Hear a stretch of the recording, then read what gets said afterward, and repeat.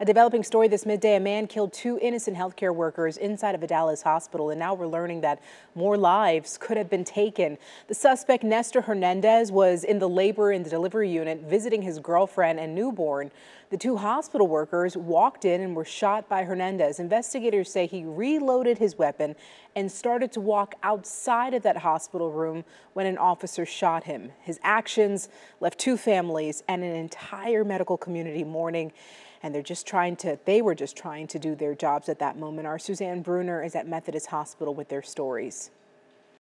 Fellow hospital workers here at Methodist Dallas Hospital are remembering two brave women who lost their lives in the shooting over the weekend. Police have identified the victims as 63 year old Annette Flowers on the left and 45 year old Jacqueline Pokuaa.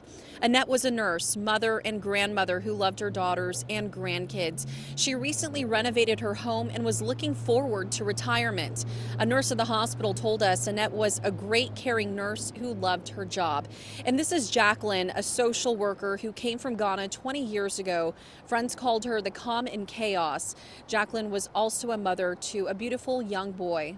Her smile, her personality, how friendly or how help, help helpful that um, she was. So I think that's if if I should use the word one, one one word to describe her, I would say maybe her smile.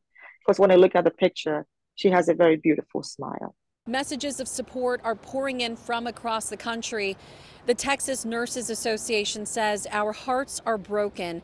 These are our colleagues and friends. The entire TNA family grieves this loss, and we extend our condolences to the families and coworkers of the victims. The CEO of the TNA is also saying no person should ever fear for their life going to work. And the National Nurses United organization is calling on U.S. lawmakers to now pass a workplace violence prevention legislation. We're in Dallas. I'm Suzanne Bruner, and I'll send it back to you.